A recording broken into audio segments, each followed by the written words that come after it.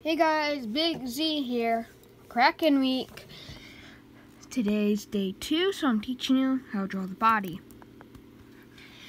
Now, for the tentacles, you want to draw more than one because if you don't know how to draw tentacles, go back to my first Kraken day, Kraken week video,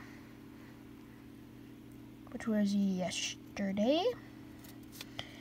Now, you want to connect all of the tentacles together. Doesn't matter how many tentacles you have as long as, it's not like one or two. I just want to kind of draw a big circle. Don't know why I need to do this. I just thought of it. Now it kind of looks like a jellyfish, but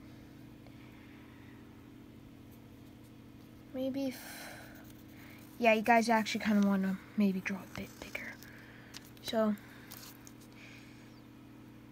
erase this first bit. I'm going to use this. So erase this first bit.